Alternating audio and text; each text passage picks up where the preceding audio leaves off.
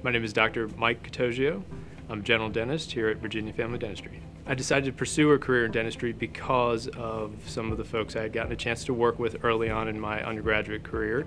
Uh, they were young graduates of MCV, and uh, I got to spend quite a bit of time with them, and I saw the difference that they could make in people's lives. That was what initially brought me in. And then after learning more about the profession, I realized that the skill set that's required for dentistry is right up my alley. And uh, I enjoy working with people every day. I enjoy the fine motor skills that it takes. I enjoy the transformations that can be made within a short period of time. So I spent four years at James Madison University for undergraduate degree. Uh, then went on to Medical College of Virginia here in Richmond for my dental degree in general dentistry. Uh, following that, I did about a year's worth of comprehensive implant certification.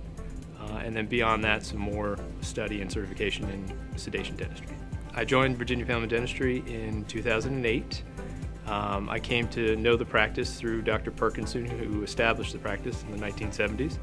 Um, I worked extensively with him, and the more I got to work with him, the more I realized how great the practice was, and the team approach that they use and the model that they have set up was just phenomenal, and that's what brought me in. I like most every aspect of dentistry. There are some, obviously, more than others, but uh, what I really enjoy is the more comprehensive full mouth rehabilitation work that we can do. Uh, it really gives us a chance to change somebody's life in a very short period of time. Uh, so I spend a lot of time doing more of the surgical procedures and some of the implant work and things that require more extensive training but allow for a much bigger, better result uh, in, a, in a short period of time.